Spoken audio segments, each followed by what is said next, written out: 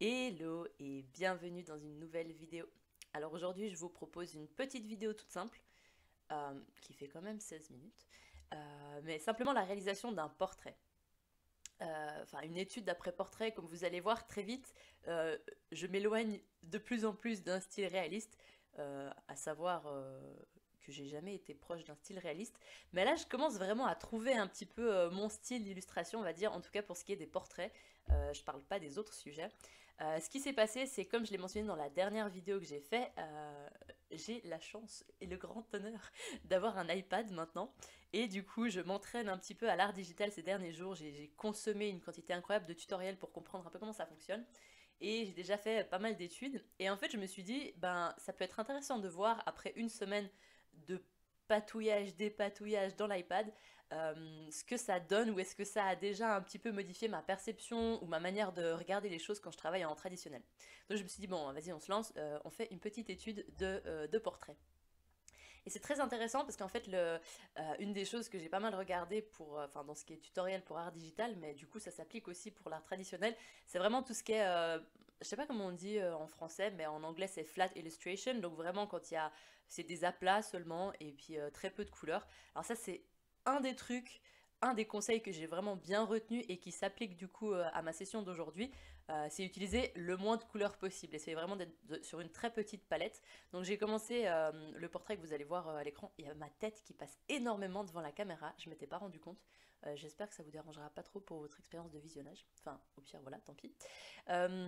et du coup, vraiment peu de couleurs. Donc j'ai commencé, comme vous allez le voir, avec juste deux stylos, enfin deux, deux teintes très proches de brun pour faire, pour faire la peau, les ombres, etc. Et ensuite, j'ai rajouté, euh, après coup, j'ai réfléchi aux couleurs suivantes. Donc, j'ai rajouté euh, du jaune et euh, du turquoise eau très clair. Enfin bref, ça ce sera dans la suite de la vidéo. Donc alors, je vais commencer par la fin parce que de toute façon c'est jamais dans le bon sens quand je raconte les choses. effectivement, j'ai eu l'impression que les, les, différents tutoriels et les, différentes, les différents exercices que j'avais fait sur l'iPad ont déjà investi un petit peu ma pratique traditionnelle et me font réfléchir et me font approcher en fait la, création traditionnelle d'une manière différente. Donc euh, bon, vraiment stylisation, euh, là je me prends même plus la tête à essayer de faire quelque chose euh, de très ressemblant parce qu'au final c'est pas trop ce qui m'intéresse. Euh, et surtout la gestion des ombres. Donc j'en parle beaucoup dans mes dernières vidéos hein, parce que c'est un gros sujet, euh, la gestion des ombres. Euh, et là, les derniers tutoriels que j'ai regardés par rapport à ces illustrations en aplat, justement, où il y a très peu de couleurs et c'est des, contours bien définis et extrêmement synthétiques, j'ai l'impression que ça m'a un petit peu aidé justement sur ce, premier portrait en traditionnel inspiré par, par mes derniers visionnages. Comme vous allez le voir, justement, j'ai déjà, déjà au crayon moi je fais vraiment pas en rapport avec l'image. Bon, j'espère que vous retrouverez ce que je dis par rapport à ce que vous voyez. Il faudra vraiment que je m'améliore sur ce sujet aussi. Euh, mais j'ai vraiment essayé de définir voilà, les, ombres du visage en prenant mes libertés par rapport à la référence parce que là comme ça, bon on la voit juste dans le coin en haut à gauche. Euh, euh, si je me souviens bien, c'est pas une référence où les ombres sont très marquées. Donc j'ai pris mes libertés et j'ai décidé de, de mettre la lumière voilà, de plus ou moins, enfin de la situer plus ou moins en dessus du personnage, enfin avant euh, avant haut, si on peut dire. Euh, et du coup, j'ai simplifié et puis j'ai un peu créé moi-même. Enfin, je suis restée sur des, des, ombrages habituels, hein, ceux qu'on fait euh, par défaut toujours. Et sinon, je me suis beaucoup. Alors voilà, là, je commence les cheveux et je me suis beaucoup amusée sur les cheveux. C'est un autre, un autre objet, les cheveux, qui sont, enfin pour moi en tout cas, extrêmement durs à simplifier. Je me retrouve à essayer de faire des traits dans tous les sens et la plupart du temps, ça donne pas bien. Mais là, pour le coup, cette coiffure, enfin ces cheveux en particulier, j'ai trouvé qu'ils étaient super. Enfin, c'est pour ça que j'ai choisi la photo en fait. C'est qu'ils étaient. Ils me sont apparus comme ça directement super simples à, synthétiser et je trouve que ça donne bien. Et euh, je me suis assez amusée justement à leur donner euh, du volume, ce qui n'est pas forcément ce que je maîtrise le mieux. Mais euh, bah, j'ai commencé avec justement avec ce... Ah voilà, ce que je, ce que j'avais pas dit, c'est que j'ai travaillé vraiment avec les, les stylos aquarellables pour cette illustration. Ce que j'avais... ce que je Enfin, ce que je fais rarement en fait, j'ai très peu utilisé les stylos aquarellables, à part pour faire des fonds ou ce genre de choses, mais pour euh, la peinture même, je l'avais pas utilisé vraiment jusqu'à maintenant. Et là, ça a été une belle découverte, franchement, je me suis super amusée. Euh, du coup, ben, vous allez le voir euh, à l'écran. Donc là, comme je vous ai dit, je commence avec la teinte la plus foncée, donc j'avais deux brins, comme vous voyez sur la gauche. Je commence par la teinte la plus foncée, mettre les ombres ben, là où je pense mettre les ombres. Et comme vous avez vu, je recouvre pas, justement, j'essaye de garder les ombres, si on veut, ce que mon processus de pensée, c'est de me dire, je mets les ombres au stylo, donc c'est là où vous posez le maximum de pigments, vraiment à l'extrémité des ombres, comme ça quand je viens en fait justement dissoudre les pigments, euh, ben, je peux tirer et puis créer les zones moyennes, on va dire, euh, juste en tirant les pigments. Donc euh, avec ça, je pense que c'est un truc où, voilà, si vous voulez aussi travailler avec les, feutres aquarellables, pardon, je cherchais mes mots, je vous, justement, je vous conseille d'être assez, assez précautionneux et assez, comment dire, je trouve pas le mot, j'allais dire acétique, bon vas-y, euh, disons assez acétique avec euh, le, dépôt de pigments, parce que c'est vrai que ces, stylos, déjà, ont, des couleurs très très très saturées, alors c'est intéressant justement, ça crée vraiment ce mode illustration, euh, plus qu'avec une aquarelle traditionnelle. Mais surtout, il faut vraiment le mettre au plus profond de vos zones d'ombre et, pas trop arriver vers les zones, les zones claires, sinon vous allez perdre en fait les zones claires. Euh, pour les cheveux, justement, ce que j'essayais de dire avant, après je me suis rendu compte qu'on n'était pas encore là dans la vidéo. Euh, comme vous voyez, j'applique euh, vraiment des touches. J'essaie pas de recouvrir entièrement la surface avec, avec les coups de, de, feutre. Et j'essaie de déjà, en fait, avec mes coups de pinceau, vous imaginez bien, j'essaie déjà en fait de reproduire un petit peu la texture des cheveux, de manière très synthétique toujours. comme ça, c'est toujours la, la, réflexion en avance, comme je sais pas comment le stylo va forcément se dissoudre, euh, je me dis, ben, au cas où si on, continue à voir les, marques de feutre euh, en dessous du lavis, ben, les marques de feutre ont déjà plus ou moins la forme du sujet. Donc euh, voilà. ensuite, je suis repassée avec le brun plus... Ah non, je me suis trompée. L'autre, c'était le brun le plus clair. Et ça, c'est le brun le plus foncé. Donc deux couleurs. et comme vous voyez, je mets que seulement sur le bas, justement, pour créer cette, espèce de, volume. En, mettant la, couleur la plus sombre seulement sur le bas de la coiffure. J'aime trop cette coiffure, j'aime trop ses cheveux, ils ont tellement de volume. Je veux dire, dans la référence déjà, je parle pas seulement de mon dessin, euh, mais vraiment super intéressant à dessiner et à peindre du coup. Et comme vous voyez, ce que je fais aussi, euh, quand je veux travailler avec, des, avec une moindre opacité, c'est-à-dire que ce que je vais faire, c'est que je vais, au lieu de réutiliser le, pinceau, je vais vraiment aller chercher euh, dans le lavis encore humide un peu des pigments pour être sûr que que je pars pas direct avec euh, une couche trop foncée parce que là c'est vraiment des petites retouches délicates et je voulais pas, je voulais, pas y aller au bulldozer on va dire. Donc ça, les cheveux, la peau, vous allez voir après, est-ce que j'utilise le plus foncé pour la peau? Tiens, je me rappelle plus. Alors là, je reprends, donc vous, bah, avez déjà vu le dessin de base, mais j'aime vraiment bien le style de ben, crayon. Donc euh, ce que je fais quand j'ai... Je parle comme si ça faisait des, mois que je faisais ce genre d'illustration alors que ça fait... Enfin je pense que c'est la première de ce type-là avec les pinceaux. Mais on va faire comme si j'ai super beaucoup d'expérience par rapport à ça. Donc euh, je reviens avec, euh, avec mon crayon. Donc là j'ai pris une couleur plus foncée justement. J'avais fait l'esquisse avec une espèce de rose saumon. Et là c'est un... Je crois si je me trompe pas c'est une sorte de...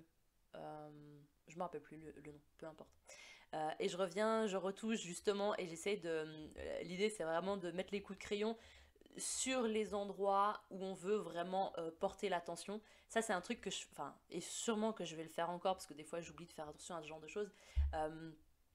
mais de mettre des détails partout.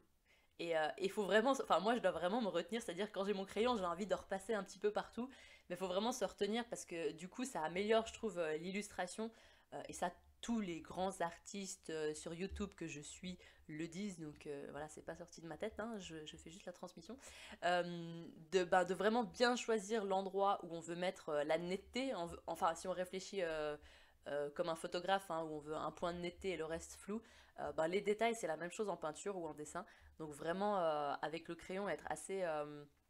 assez J'ai toujours pas trouvé le mot que je voulais dire avant économique, on va dire, voilà, disons économique pour pas dire ascétique. Euh, être assez euh, économique et vraiment, euh, l'économie des détails, histoire de bien gérer le regard sur l'image, enfin, guider le regard sur l'image, etc., etc. Mais j'aime beaucoup faire ça et j'aime beaucoup travailler au crayon. D'ailleurs, ça, a été un de mes... J'ai passé pas mal de temps sur l'iPad à, chercher un peu quel, quel, pinceau dans Procreate me permettait vraiment de, de, retrouver cette texture crayon parce que c'est un des trucs que je préfère. Donc je repasse encore une fois euh, pour justement augmenter encore plus euh, euh, le contraste avec le bas des cheveux et vraiment créer cette, sorte d'effet couronne. Et là, je me suis amusée avec la dissolution de, ça parce que je me suis vraiment rendu compte, je peux tout dissoudre et, voilà, donc ça fait assez uniforme. Finalement, on voit plus les, marques de, feutre dessous. Ou dissoudre à certains endroits et ça crée ces auréoles justement avec ben, autour des auréoles le pigment presque encore pur du feutre. Et euh, du coup, c'est très intéressant les textures qu'on peut obtenir euh, avec ça. Voilà, voilà. Et je crois que je vais bientôt passer, non pas encore, euh, aux, vêtements. Du coup, euh, ça j'ai aussi fait. Enfin, toujours dans l'idée, en, gros, la manière dont je l'utilise, c'est que je vais jamais recouvrir entièrement une forme avec le feutre parce que euh, bah, sinon c'est plus difficile de gérer ces valeurs en fait. De vraiment mettre, comme vous avez pu voir, en fait, je pars des contours, des contours de la forme pour mettre des touches en laissant toujours des. Ouais, donc ça c'est mon gros sac en laissant toujours justement des zones sans. Il faut que je finisse mes phrases. Donc ça c'est mon gros sac, j'ai tout foutu à l'arrache parce qu'en fait je les avais un petit peu remisés vu que je les utilisais pas ou très très peu. Et, euh, j'ai commencé ce portrait je me suis enflammée, j'étais là, ah je vais trop faire une série. Et du coup, j'ai été tous les rechercher et je les ai mis à l'arrache dans un gros sac. Donc, je commence le vêtement et là, pareil, vous voyez, euh, c'est vraiment pas l'idée de recouvrir entièrement la forme. La forme. Euh, je fais toujours des traits. Alors, j'essaye de suivre justement la forme toujours dans l'idée, au cas où on voit, on voit les, on, finit par voir les, marques de pinceau, ben ça ira dans le, dans le flot du truc, ça ira par rapport à l'objet, euh, et du coup on perd rien et on s'énerve pas. Donc j'ai choisi un jaune, euh, voilà, pour rester dans les teintes très chaudes, comme j'étais sur deux brins, et finalement la dernière couleur que j'ai choisie pour euh, créer le contraste un peu des, couleurs complémentaires, j'ai choisi justement un turquoise très très clair, un turquoise haut comme ça. Ah oui, là, c'est intéressant ce que je me suis amusée à faire et ça donnait bien. Donc, dans la vie encore humide du jaune, euh, j'ai utilisé le brun. Et comme vous avez vu, c'est le brun que j'ai utilisé pour les cheveux. Donc, normalement, il est super saturé. Mais ce qui se passe avec les feutres, et c'est assez utile en fait de l'utiliser à certains moments, c'est que quand vous l'utilisez sur du... Alors, faut faire attention, hein. chaque stylo, je pense, chaque marque a, a, ses particularités, mais en tout cas, cette marque, quand je l'ai utilisée dans le lavis jaune encore humide, ben, le stylo, vu qu'il reçoit un peu l'eau du lavis et ça bloque un petit peu euh, l'écoulement des pigments, j'imagine, euh, bah, du coup, il est, il est très très soft et il est, il est dans une teinte, enfin, dans une opacité beaucoup beaucoup moindre que quand il est utilisé sur papier sec. Et ça m'a permis de juste travailler très légèrement ces ombres euh, sans y aller à, coup de, à coup de bulldozer. Et j'ai trouvé ça hyper utile en fait de.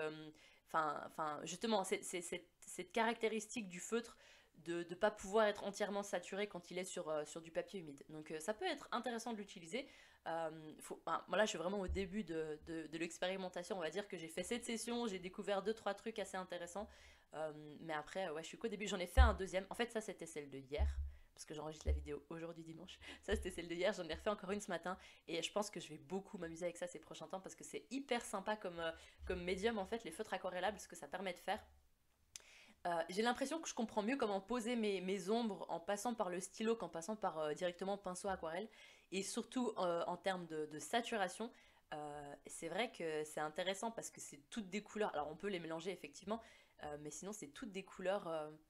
Comment ça se fait que ça fait 19 minutes que je parle et que je suis que à 13 minutes dans le truc? Ok, pardon, pardon, j'ai eu un gros bug d'ordi. Euh, effectivement, ça fait pas encore 20 minutes que je parle, tant mieux. Donc il me reste 3 minutes pour finir cette vidéo. Euh, et je disais que ouais, je suis encore qu'au début de l'expérimentation avec ce médium.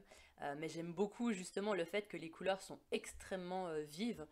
et c'est vrai qu'au tout début, je me rappelle quand je regardais des tutoriels, quand je commençais l'aquarelle, le conseil que les, ben, les, gens que je suivais donnaient était vraiment de ne pas utiliser en tout cas pour faire réaliste, si on partait sur des illustrations réalistes, de ne pas utiliser justement euh, l'aquarelle euh, qui sort du tube, c'est-à-dire de toujours mélanger ses couleurs pour obtenir des couleurs plus réalistes, etc.